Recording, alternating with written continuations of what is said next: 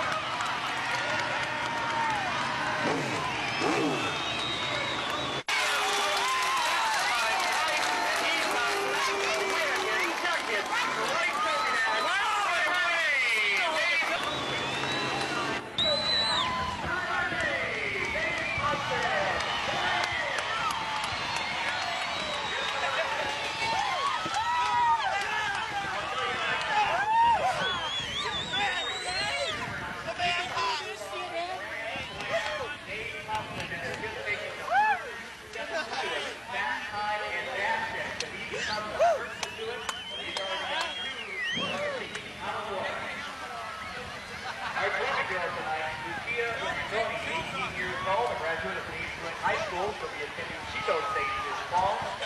She works at uh, Macy's for hobbies. Uh, dancing water is Trophy tonight. She will be up for an honor along with Senator Alfred Alquist. We'll be presenting the uh, winners. Uh, Dave Thompson's really a happy person. Car number 18 won the second trophy dash in a row. Just came from third place, which is not very unusual, to win the trophy dash on the last lap.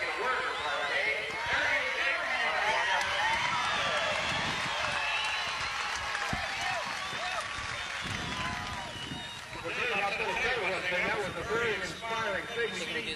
Sometimes at our camel challenge race, they have thousand dollars just cash for cash. You were not anywhere near contention until the final part of that quarter. Absolutely brilliant drive. What do you think, man? Dave Thompson with a beautiful ride. all you people being out here, and it's a good time for me to do it. That's what I'm here about. We talked more than uh, once earlier in the year about the fact that you uh, were not out here driving every single night. And the reason was you were going to concentrate for a good run at it towards the last half of the season. And I think you're doing exactly what it is. You're doing quite a job for you. Yeah, they're doing a real good job for me, and uh, just had to quit racing for a couple weeks and regroup what I was doing, so I come back and do what I planned on. Well, I think you're going to continue with that now if you keep this up.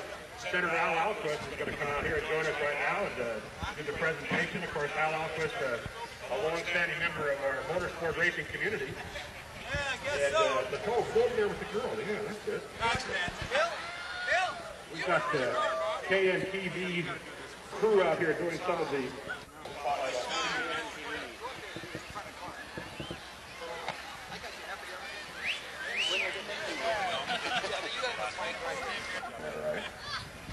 just the flower, Dave. Just the flower. Whoops. Marcy, show them how to do that. No, no. Put your hand on the bottom of that coat. Yeah, you smell good, dude. Mom for all photographers.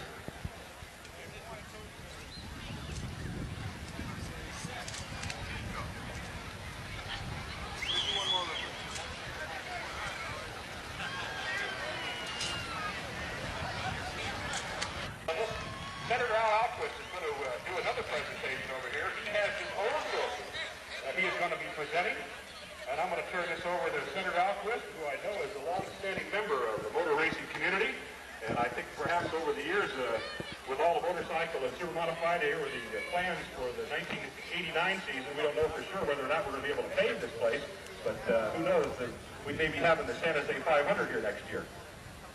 Well, we're going to do our best to help you get that San Jose 500. It's going to be a, a big boost to racing here in San Jose, and I hope it all works out.